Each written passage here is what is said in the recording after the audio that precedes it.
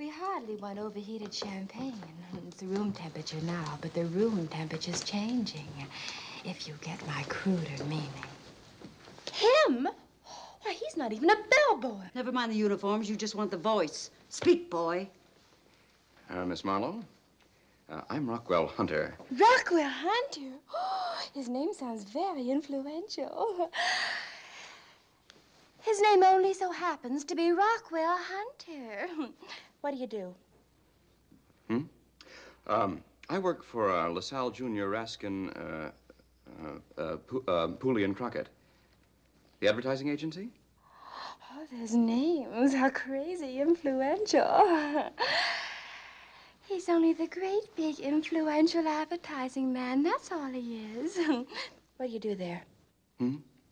Um, I write TV commercials. TV commercials? Oh, no, no.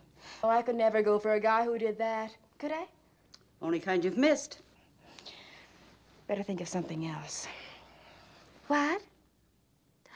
Yes, I told you, sweetie. He's Rock Huntley of the Salt, Rat Skin, Dooley, and Crumpet. What's a better job at that crazy place? Well, vice president is considerably better. Never mention Vice. You see, those confidence magazines always get on your back. I know. You're president. He's only the president of the agency, sweetie. Miss Marlowe, I'm not president. I just write TV commercials. Oh, Rock Huntington. I know I'm ooh, so kissable, but why don't you pour the champagne first, lover doll? It's uh, Hunter, not Huntington.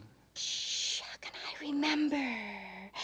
I'm all excited because you're loving me up. Ooh. mm, mm. The lover doll did it. He's winging. So am I.